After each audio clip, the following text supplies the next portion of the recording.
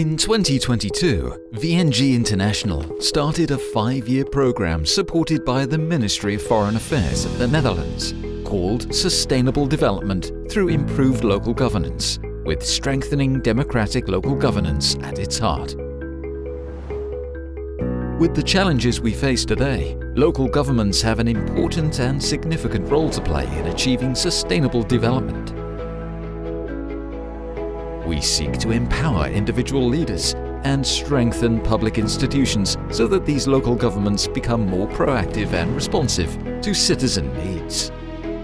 SDLG is being implemented in multiple countries, focusing on four different themes.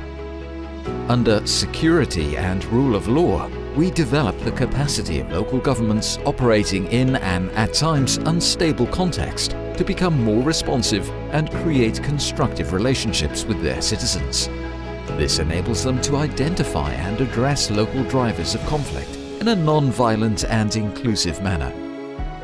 Within migration, we strengthen the resilience of local governments dealing with the impact of the influx of refugees and internally displaced persons.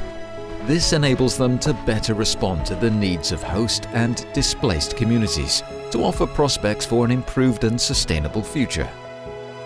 We also work on local revenue mobilization to improve revenue processes of local governments, such as tax collection, it promotes accountability and transparency over the collected revenues necessary to increase the taxpayer's willingness to pay.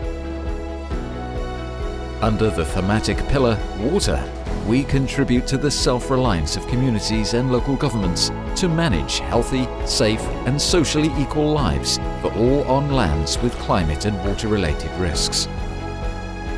More countries can be added depending on needs on the ground.